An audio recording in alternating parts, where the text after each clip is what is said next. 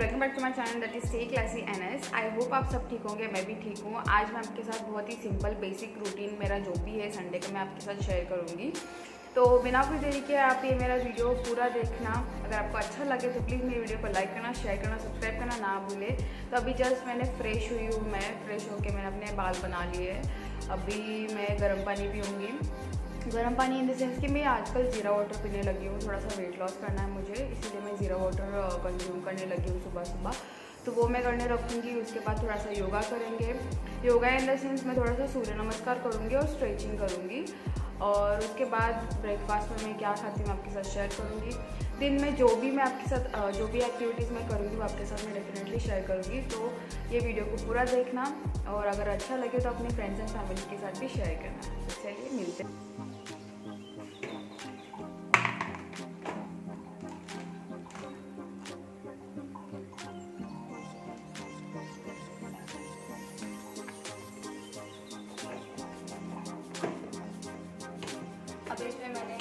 Cup गरम पानी लिया है। उसमें थोड़ा सा आधा चम्मच मतलब टी स्पून जितना मैंने जीरा इसमें ऐड किया है।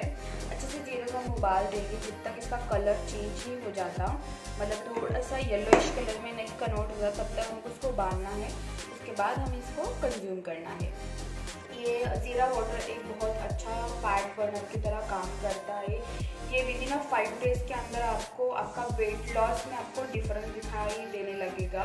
बहुत ही अमेजिंगली तरीके से काम करता है। मैंने इसको कल से ही लेना स्टार्ट किया है और आज मेरा सेकेंड डे है। तो अगर फाइव डेज़ भी आप लेते हो ना तो डेफिनेटली आपको थोड़ा सा आपकी बॉडी हल्की महसूस होना स्टार्ट होगी।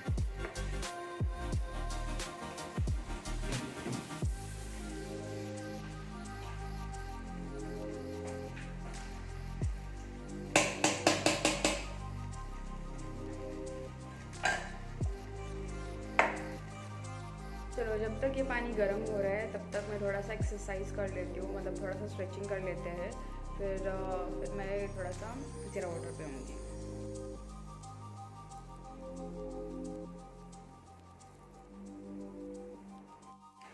थोड़ा सा ही मैंने स्ट्रेचिंग कर लिया है बट बॉडी बहुत ज़्यादा थक चुकी है अभी। अभी मेरा ज़ीरा वाटर रेडी हो चुका है। जैसे कि आप देख रहे हो ज़ीरा वाटर अच्छे सा उबल रहा है, तभी इसको हम फ्लेम बंद कर देंगे, उसके बाद हम इसको छान लेंगे। ठीक है, आप देख सकते हो इसका कलर कितना चेंज हो गया है। अब ये पूरा लेमन कलर में आ चुका है। अब इसको हम छान लेंगे और हम इसको पियेंगे।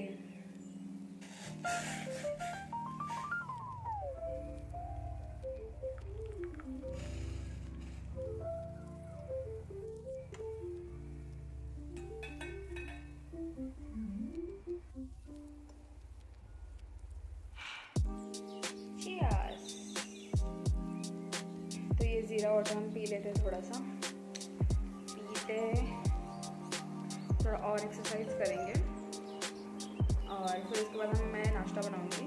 नाश्ता इन द सेंस मैं थोड़ा बाहर से ही खाऊँगी। मैंने ढोकला मंगाया है। ढोकला ब्रेकफास्ट के लिए बहुत अच्छा होता है। तो मैं आज ढोकला खाऊँगी। फिर आज मैं ढोकला खाऊँगी। और लंच के लिए मेरे घर पर बनता है। अभी फ़िलहाल मतलब मैं जाके लेके आऊँगी ग्रॉसरी जाना है। मेरे को थोड़ा सा सामान लेना और वहाँ से हम लेके आएँगे चिकन बनेगा संडे को। तो चिकन का मैं आज कुछ अलग तरीके से ट्राई करने वाली हूँ। तो वो ट्राई करेंगे और साथ ही अगर खीमा मिलता है तो खीमे के हम कटलेट भी बनाएँगे। तो सारी रेसिपीज़ मैं आपके साथ शेयर करूँगी। तो स्टेट ट्यून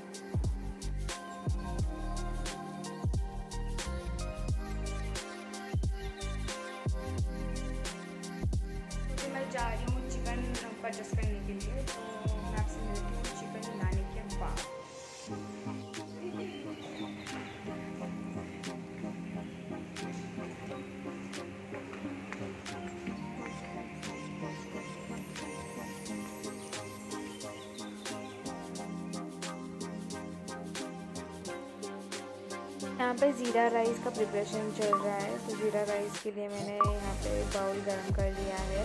उसमें मैंने थोड़ा सा तेल डाल दिया है, ज़ीरा डाल दिया है और राइस को मैंने धो के ऑलरेडी रख दिया था तो वो राइस भी मैंने इसमें डाल दिया है। अच्छे से थोड़ा सा एक दो मिनट के लिए मैंने इसको फ्राई किया है।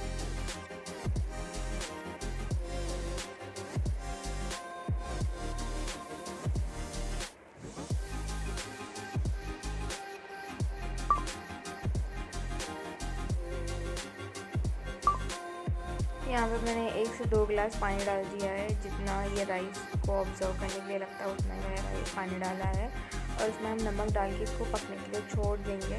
उसके बाद मैंने लिया है चिकन कटलेट बनाने के लिए। तो उसका रेसिपी मैं आपके साथ शेयर करती हूँ। तो यहाँ पे मैंने आधा के जी चिकन खीमा लिया है। तो चिकन खीमा में हम लोग ऐड करेंगे वन स्मॉल अनियन और एक मैंने मिर्ची लिया है यहाँ पे। ग्रीन चिली लिया है मैंने एक। ये सारी चीज़ें हम इसमें वन बाय वन डालते जाएँगे। तो मैंने डेढ़ टेबल स्पून यहाँ पर लाल मिर्च लिया है नमक मैंने स्वाद अनुसार लिया है, उसमें हमने ऐड किया है धनिया powder one tablespoon chili flakes मैंने ऐड किया है यहाँ पे। उसमें हम ऐड करेंगे काली मिरी का पाउडर, इन द सेंस कि black pepper powder, garam masala मैंने एक टेबल स्पून लिया है। यहाँ पे मैंने ऐड किया है दो से तीन टेबल स्पून बेसन आटा। आप चाहिए तो भुना हुआ बेसन का आटा भी यूज़ कर सकते हो और दो टेबल स्पून मैंने अदरक लहसुन का पेस्ट लिया है। इस सारी चीज़ों को हमें अच्छे से मिक्स करना है।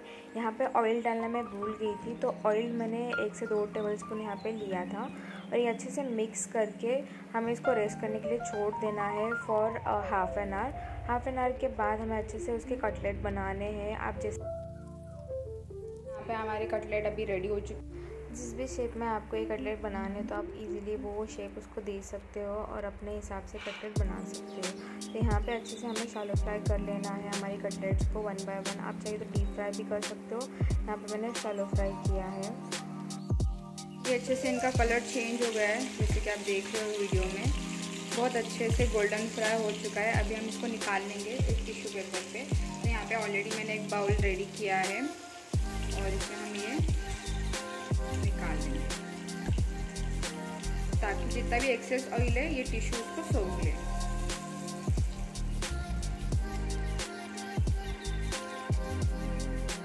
सेम प्रोसीजर बाकी के कटलेट्स के लिए भी हम लोग कर लेंगे यहाँ पे।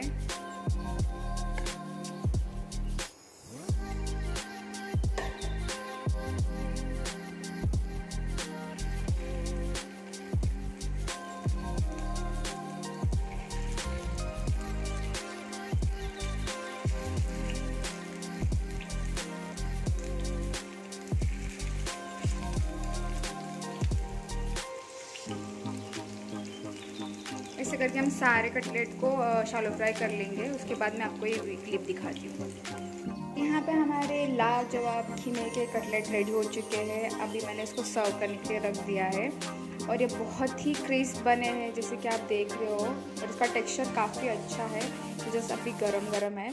और ये बहुत ही यम बनता है। आप इसको मेयोनीज के साथ, सॉस के साथ, हरी चटनी के साथ, किसी के साथ भी आप इसको खा सकते हो। नॉर्मल आप इसको खा सकते हो, चपाती के साथ खा सकते हो, या फिर अगर आपके घर में सिर्फ़ दाल चावल बनाए तो आप दाल चावल के साथ भी इसको खा सकते हो। बहुत ही अमेजिंग लगता है। तो अभी यहाँ पे हमारे खीमे के कटलेट अभी रेडी हो चुके हैं।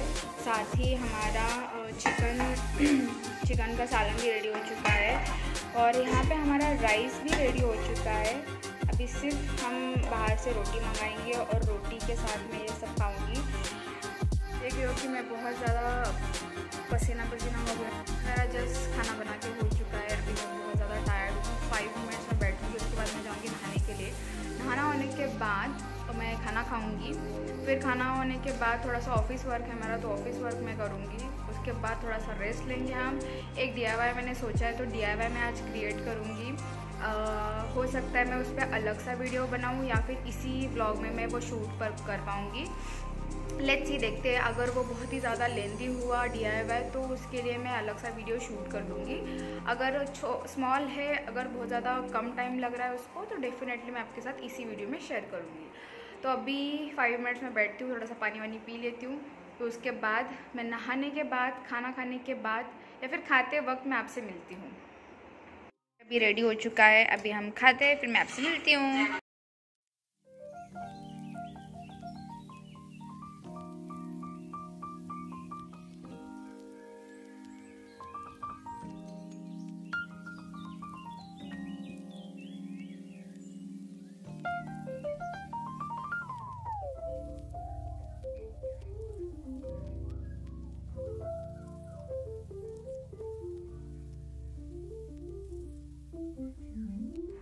मेरा खाना हो चुका है। जो कपड़े मैंने धोए थे, वो मैंने सूखने के लिए भी डाल दिए हैं। और मैं थोड़ा सा रेस्ट करूँगी, उसके बाद मैं उठने के बाद थोड़ा बहुत मेरा ऑफ़िस का काम है तो ऑफ़िस का काम ख़त्म करेंगे, उसके बाद हम जाएँगे डी थोड़ा सा ग्रॉसरी ख़त्म हुआ है तो वो भी हमें परचेस करना है तो उसके लिए हम जाएँगे डी और मैं मिलती हूँ आपसे थोड़ी देर में रेस्ट लेने के बाद।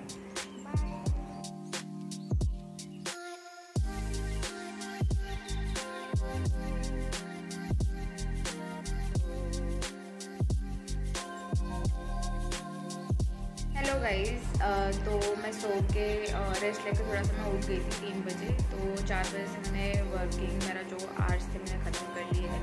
बिकॉज़ कल मंडे मुझे कहीं और जाना है, थोड़ा सा मीटिंग है तो उसके लिए मुझे जाना है। तो मेरा जो पेंटिंग काम है वो मुझे ख़त्म करना ही था, इसलिए मैंने अभी ख़त्म कर लिया है वो। तो मेरा ऑफ़िस वर्किंग आज अभी ख़त्म हो चुके हैं। इट मीन्स की जो भी मेरा पेंटिंग काम था वो मैंने ख़त्म कर लिया है। अभी मेरी चाय हो चुकी थोड़ा बहुत मैंने चाय पी लिया है। अभी थोड़ा सा फ्रेश होकर मैं जाऊँगी डी मार्ट तो डी मार्ट में थोड़ा बहुत हमको शॉपिंग करना है तो वो जितना सामान ख़त्म हुआ वो हम लेंगे। और उसके बाद देखते हैं कि क्या करना है। मतलब कहीं घूमने जाने का प्लान बनता है, नहीं बनता है।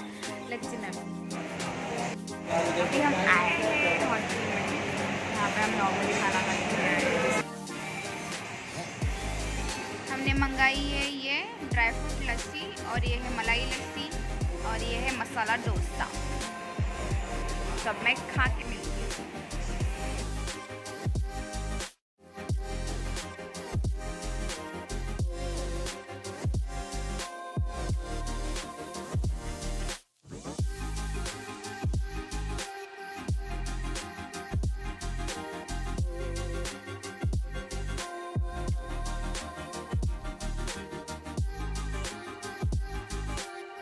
डिमांड का प्लान कैंसिल हुआ तो उसके बाद मैं चली गई थोड़ा सा आउटिंग के लिए। तो आउटिंग करने के बाद हम, मैंने खा लिया।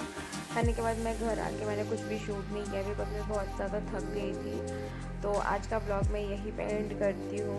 आई होप ये ब्लॉग आपको अच्छा लगा हो इंटरेस्टिंग लगा हो तो प्लीज़ मेरी वीडियो को लाइक करना शेयर करना और सब्सक्राइब करना ना भूलें। ऐसी अलग अलग वीडियो के साथ मैं आपसे मिलती रहूँगी। तो मेरे चैनल को सब्सक्राइब करना लाइक करना शेयर करना। चलो बाय बाय टेक केयर